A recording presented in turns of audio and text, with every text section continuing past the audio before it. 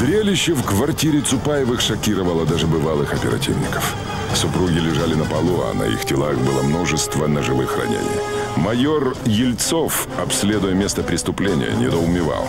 Кому и зачем понадобилось так зверски расправляться с мирными скрипачами из Москонцерта? Платяной шкаф был пуст, паркет багровел от засохшей крови, а на старинных подносах громоздились осколки битого стекла из-под лекарственных мензурок, флаконов духов, различных вазочек. Убийство с целью грабежа, мгновенно определил опытный следователь и добавил. Искали явно камушки. Работники милиции и прокуратуры, участвующие в раскрытии преступлений, где замешаны драгоценные камни, прекрасно знают особенность настоящих бриллиантов. Если их поместить в стакан с водой или в любую другую жидкость, они как бы исчезают. Их невозможно обнаружить невооруженным глазом. Поэтому опытные грабители в первую очередь бросались к емкости с водой. Также надежным тайником считаются разные пасты и кремообразные субстанции. Ну кому придет в голову искать камни в банке с вареньем или компотом? Судя по проделанной работе, грабители были не новичками в бриллиантовом деле. И нужно отметить, что в квартире было на что позариться. Частые гастроли Москонцерта приносили Цупаевым неплохие гонорары. Доставленная на место преступления подруга Едвиги сообщила, что семья увлекалась коллекционированием. Имелись довольно редкие антикварные вещи. После осмотра места преступления подруга особо отметила, что Едвига больше года все свои гонорары и надбавки откладывала для покупки шубы из Чернобурки и буквально месяц назад купила ее.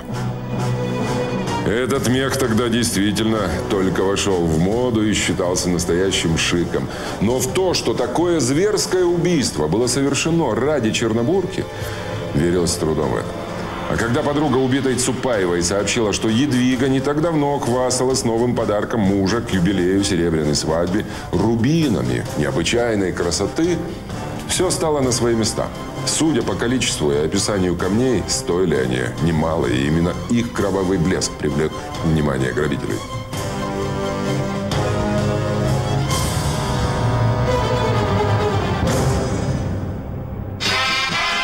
В 1952 году криминальная обстановка в Москве нормализовалась. Остались позади страхи горожан перед некогда грозными и кровавыми бандами вроде «Черной кошки». Министр внутренних дел Круглов браво доложил в Кремле, что доблестная милиция наконец обуздала преступность в городах.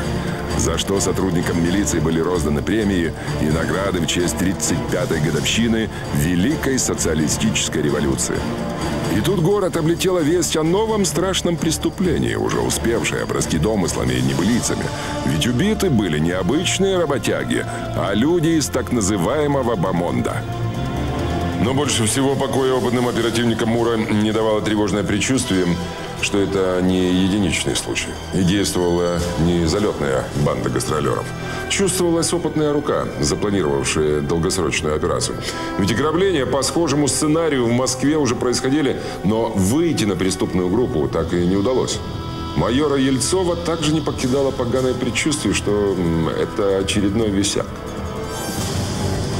Он все же отдал приказ сотрудникам, вошедшим в следственную группу, потрясти московских центровых воров. Но их присланный казачок зуб дал, что никто из столичных жуликов и скакарей не брал квартиру скрипача. Также он пообещал сообщить, если вдруг рубины всплывут на черном рынке.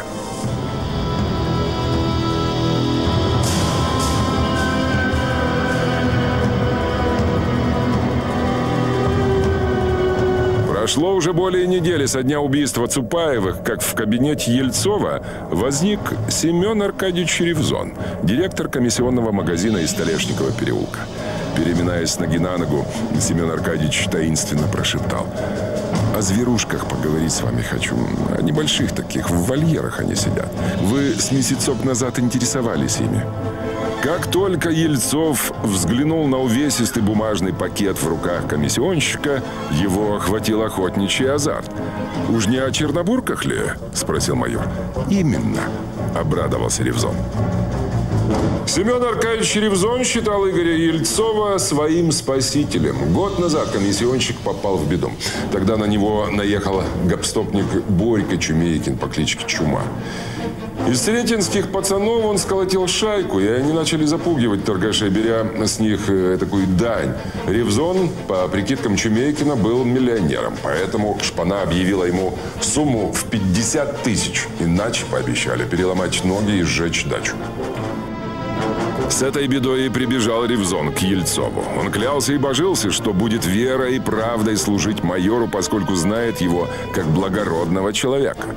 Особенно работник торговли просил, чтобы их разговор остался тайной для окружающих. Мол, у него дети и все такое. Следователь выслушал перепуганного коммерсанта и пообещал помочь. Чумейкина Ельцов встретил около дома на Сретенке, где тот был прописан, и, не произнеся ни слова, скрутил ухо с такой силой, что округу заполнили причитания и всклипывания уголовника. Чума дал честное жиганское слово, что больше не будет наезжать на торгашей и цеховиков, и пообещал больше никогда не попадаться Ельцову на глаза. После такой унизительной экзекуции авторитет чумы среди местной шпаны резко упал. А однажды его даже поколотили за попытку отобрать деньги у малолетних пацанов. Не выдержав позора, Чумейкин куда-то пропал, так и не узнав, что его блатной авторитет опустил ниже плинтуса неприметный директор комиссионного магазина. С тех пор Ревзон стал считать Ельцова своим спасителем и всячески старался ему угодить, выдавая на гора информацию о темных дельцах, спекулянтах, сбытчиках краденого. Семен Аркадьевич развернул пакет и вытащил оттуда чернобурую шубу.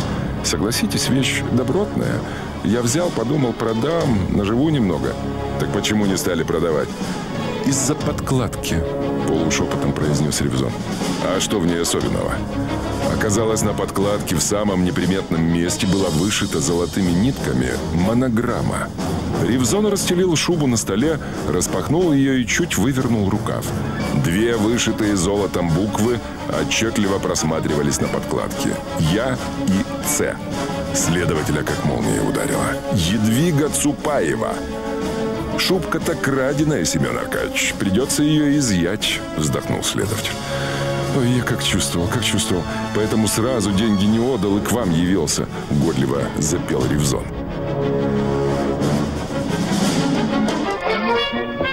Далее работник торговли рассказал, что шубу принесла молодуха с арбузными грудями, еле помещающимися в декольте. Она еще жаловалась, что шубейку ей муж подарил, да с размерами не угадал. Ревзон сразу заявил, что такой суммы на руках нет, но девушка, назвавшаяся любовью, томно сообщила, что такому мужчине не то что шубу, сердце доверить можно. Чернобурку она оставила в комиссионке, мол, чего туда-сюда таскать. Договорились созвониться через денек-второй и утрясти денежные вопросы. Вот сегодня с утра она позвонила и сказала, что в 19.00 к Кривзону в магазин придет человек в клетчатом костюме. Ему и нужно отдать либо деньги, либо шубу из Чернобурки. Человек в клетчатом пиджаке явился вовремя. Ревзон, встретившись с ним взглядом, тут же покрылся холодным потом. Это был его старый знакомый, когда-то вымогавший у него 50 кусков. Чума. Борька расплылся в добродушной улыбке, но в следующий момент лицо превратилось в гримасу.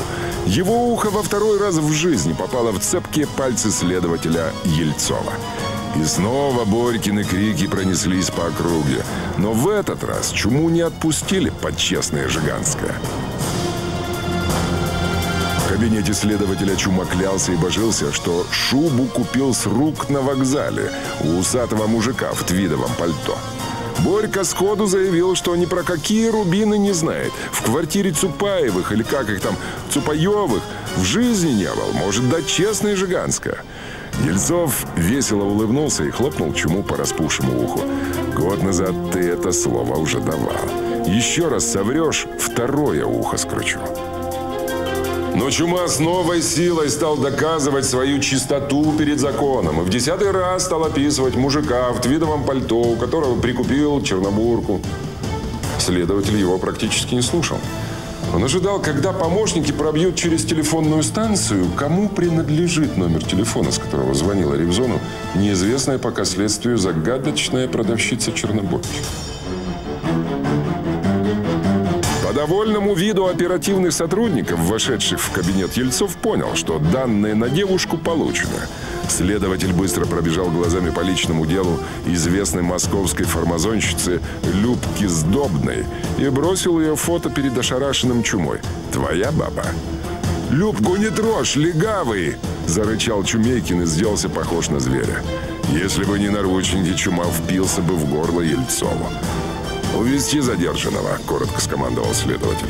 «А мы посетим эту девицу, посмотрим, чем она чуму приворожила».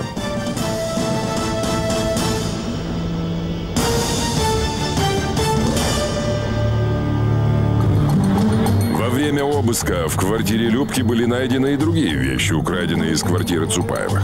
Ельцов понимал, что дело практически раскрыто, и дожать Любку сдобную, имея такие улики, расплюнуть.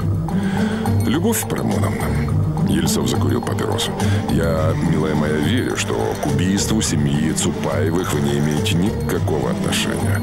Но выходит, в вашем доме хранилось краденое, а это уголовно наказуемо. Я не знаю, не знаю я. Девушка поджимала губы и отворачивалась. А, ты не знаешь. Тон следователя стал каменным. Тогда подстилка бандитская. Сядешь за сбыт краденого, плюс пойдешь как соучастница убийства. Думаешь, мы как на тебя вышли? Да чума сразу раскололся, что ограбление ты задумала. И его втянула. А это уже вышкой пахнет. После такого прессинга Любка совсем расклеилась и в обмен на чистосердечное признание дала сведения на своего любовника. Она рассказала, что чума частенько пропадает из дому на 2-3 дня, после чего приносит в дом разное шматье или цацки. Но ее он ни разу к делу не привлекал и ничего не рассказывал. Рубины у Чумейкина Любка видела. Он даже при ней позвонил какому-то Мохову и сказал, что скоро подвезет их в мастерскую. Мохова Ельцов знал хорошо. Этот человек был легендой криминальной Москвы 50-х. Работал он на дому, имел официальный патент и всегда вовремя платил положенные фининспекции деньги. Но даже если бы он запоздал с оплатой, ни один фининспектор не отважился бы его беспокоить. Мохов был темным ювелиром. Он выполнял неучтенную левую работу для Кремля – Известно, что частым гостем мастерской Мохова был сам генерал Саркисов, личный адъютант всесильного Берия. Он заказывал у ювелира различные украшения для нескончаемых любовниц наркома госбезопасности. Разные слухи ходили по Москве о работе Альберта Васильевича, но все отмечали высочайший класс Мохова по части создания копий. Через его руки прошли истинные шедевры, достойные Эрмитажа или Лувра. Весь Столешников переулок шушукался, что такие навыки Мохов приобрел во время создания копий фамильных дворянских ценностей, изъятых при обысках, но не попавших в спецфонд. Туда как раз свозили двойники, сработанные Альберт Васильевичем, а настоящие бриллианты оседали в сейфах Бериевского окружения.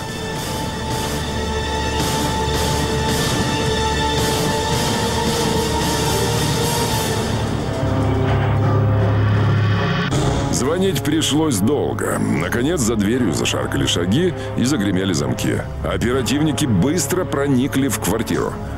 «Мур, Альберт Васильевич, ордерок есть на обыск в вашей квартире, так что предлагаю добровольно выдать рубины, которые вам передал некто Чумейкин три дня назад». Мохов медленно посмотрел на часы и с вызывающей ухмылочкой уставился на Ельцова. Тот обратился к оперативнику. «Зови понятых». «Не надо», — махнул рукой Мохов. «Чего не надо?» «Понятых. Я готов добровольно передать рубины, которые мне принесли для оценки. В учетном журнале и запись соответствующая имеется». Мохов выложил на стол толстую тетрадь и открыл шкатулку, в которой лежали рубины. Ельцову на миг показалось, что в свете лампы эти пурпурные камни заиграли дьявольским огнем. Неожиданно в прихожей раздался звонок. «Поздновато для гостей, Альберт Васильевич», — сказал Ельцов и достал пистолет. В квартиру вошел невысокий человек и с нарастающим негодованием огляделся вокруг.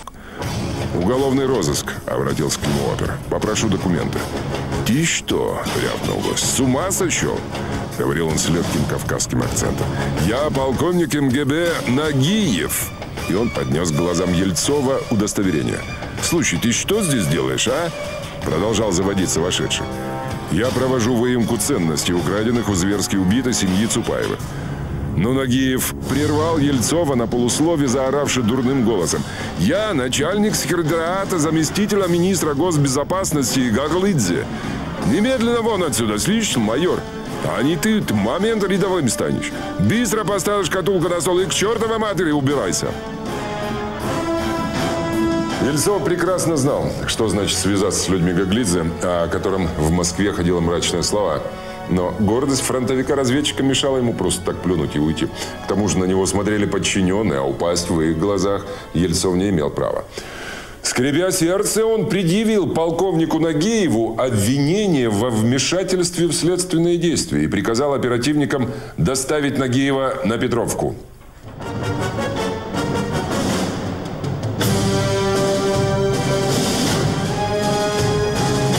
Успели описать изъятые ценности и оформить документы, как дверь в кабинете Ельцова распахнулась и ворвался брюхатый генерал-лейтенант в форме МГБ. Ельцов сразу узнал его. Это был замминистра госбезопасности Сергей Гаглидзе. Он приказал всем, кроме Ельцова, покинуть кабинет.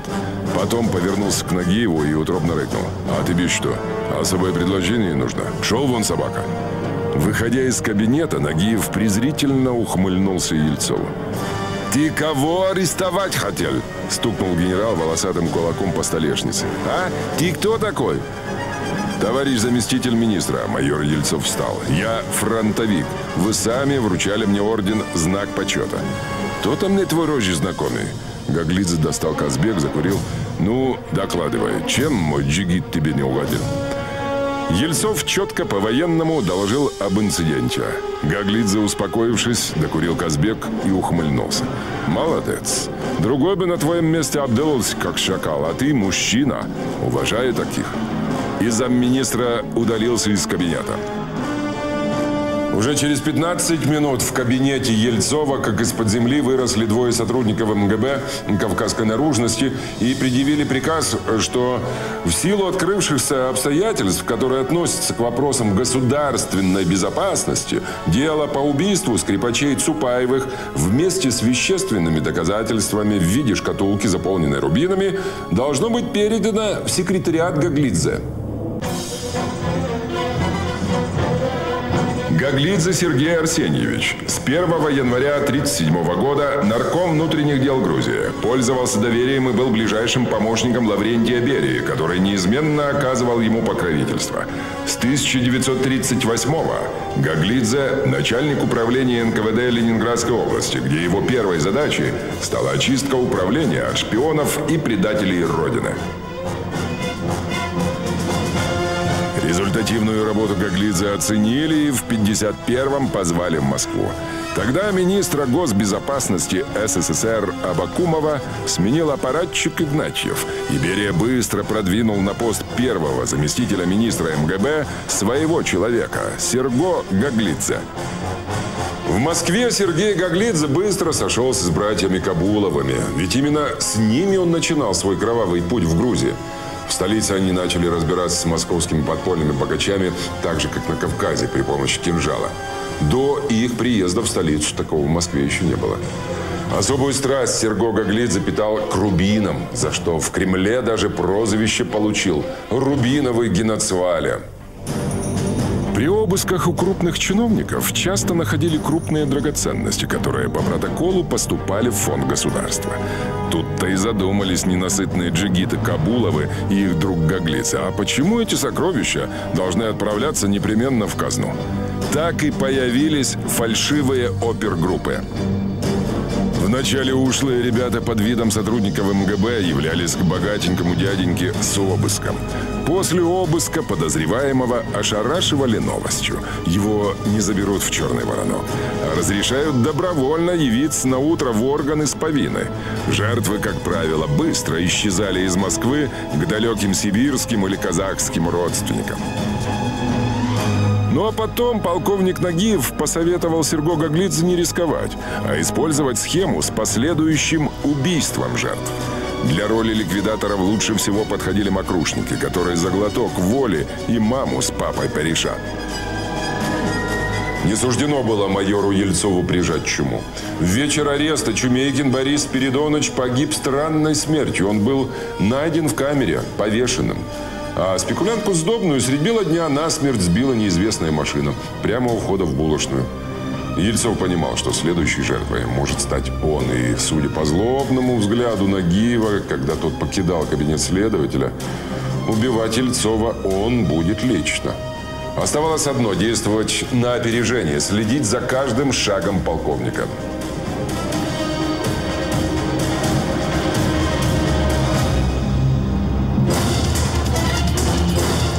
Конспиративной квартире в Тимирязевском переулке шел разбор полетов. Полковник Нагиев распекал предводителя банды мокрушников по кличке Никанор, как зеленого пацана за прокол с ограблением квартиры Цупаевых. Нагиев заявил, что Никанор должен ему лично 20 тысяч рублей за то, что ему лично пришлось убирать чуму и его грудастую краля. Отведя душу, полковник успокоился, ведь предстояло новое дело, на обсуждение деталей которого они и потратили следующий час. Полковник особо отметил. Все, дорогое, лафа закончилась. Хозяин распорядился, что отныне берете только камни и рижье. Никаких щуп. И деловито взглянув на часы, Нагиев покинул квартиру. На убийцу рецидивиста Никанорова Нагиев вышел около года назад, когда в его голове сложилась четкая схема ограблений с обязательным убийством жертвы. Никанор сучился еще в зоне, превратился в стукача, поэтому блатной мир его приговорил. Но от заточки в сердце его спас Нагиев. И с тех пор Макрушник стал работать на МГБ, отбирая по зонам и тюрьмам хладнокровных убийц. С чем, с чем, а с такими кадрами проблем не возникало. Почти каждый второй мужчина Советского Союза прошел горнило войны и не имел психологического барьера перед предстоящим убийством. Из материалов дела. После того, как бывший заключенный Никаноров указывал полковнику МГБ Нагиеву на подходящую кандидатуру, того увозили из медзаключения и предлагали сытую жизнь взамен на выполнение убийств. Но уголовники, с радостью принимавшие такое условие, даже не догадывались, что Нагиев собирается их использовать в двух-трех акциях, после чего Никаноров ликвидировал опасных свидетелей и отбирал новых кандидатов. Работа по поиску будущих жертв, у которых имеются крупные суммы или ценные камни, легла на Нагиева. Он начал подбирать уголовников, выросших в центре Москвы. Так в банду в качестве наводчика и попал Чума. Он, как никто другой из членов банды, знал проходные дворы и чердаки на случай провала. Никанор со своими мокрушниками обеспечивал кровавую часть. Гаглидзе только забирал себе львиную долю награбленного в обмен на помощь в случае непредвиденных ситуаций. Под вечер в конспиративную квартиру вернулись подельники Никанора и увидели злющего на весь мир пахана, который по полной программе отыгрался на них за свои унижения от полковника. Корявый пытался что-то возразить, за что получил по морде и заткнулся. Он прекрасно знал крутой нрав Никанора. «Рыла, ты сегодня опером будешь. Ты, корявый, следаком, а я на стреме вместо чумы». И главарь бросил им новенькие формы и ксивы сотрудников МУРа. Девку зарежет рыло. Больше на хате никого не будет. Хозяева академики в Ташкенте ошиваются. Все, соколики, остаграмимся и, помолясь, на дело. По наводке там и рыжья хватит, и камушков, но не вздумайте что-то зажилить. Полкан на шашлык нас порежет и сожрет. Бандиты молча, понимающе закивали.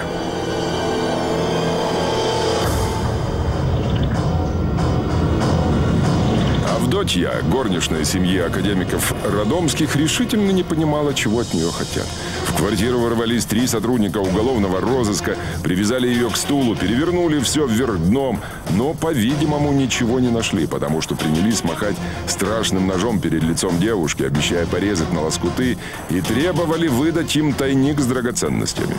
Авдотья не особо любила хозяев академиков, и если бы только знала, где те прячут бриллианты, сразу же рассказала бы бандитам правду. Но бедной девушке ничего известно не было. Псевдомилиционеры растерянно переглянулись, и один из них сплюнул на пол. «Все, Рыла, девка не в курсе. Кончай ее». И в этот момент в квартиру ворвались люди в форме. Первый из них рукояткой пистолета свалил с ног Никанора, стоящего на стреме в коридоре. «Всем лечь! Мур! Я майор Ельцов. Лежать, не дергаться, руки за голову!» Бандиты попадали, в затылок каждого уперся пистолет.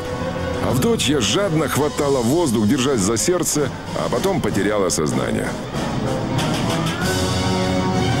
Ельцов потирал руки. С минуты на минуту на первый допрос должны были доставить Никанора. Но вместо конвойного в кабинет вошел оперативник и, смотря куда-то в сторону, сообщил, что все трое бандитов утром были найдены в камерах мертвыми. Ельцов пытался выяснить, что послужило причиной внезапной смерти трех человек, содержащихся в отдельных одиночных камерах. Но ответ начальника закрытого специзолятора был краток. Пищевое отравление. А на следующий день следователи доложили, что по городской сводке прошла информация о смерти некоего ювелира Мохова. На него якобы напала шпана и забила палками.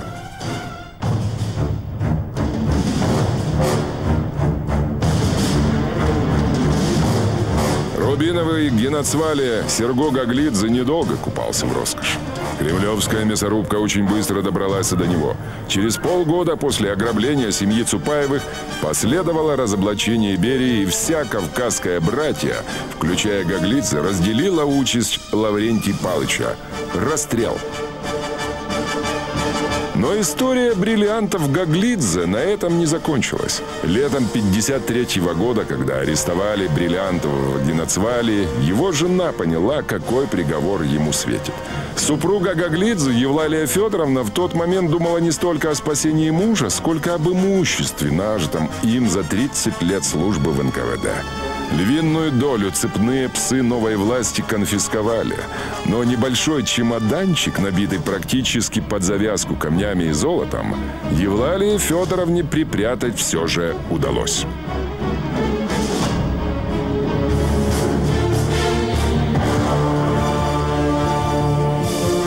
Спустя 30 лет, в 1984 году, в подмосковном поселке Малаховка, жену и дочь Сергея Гаглидзе нашли зверски убитыми. Дом буквально ломился от роскошных, дорогих вещей, награбленных еще в 50-х годах, но преступникам не интересовал антиквариат. Они пришли за одним единственным чемоданчиком, доверху набитым золотом, рубинами и бриллиантами.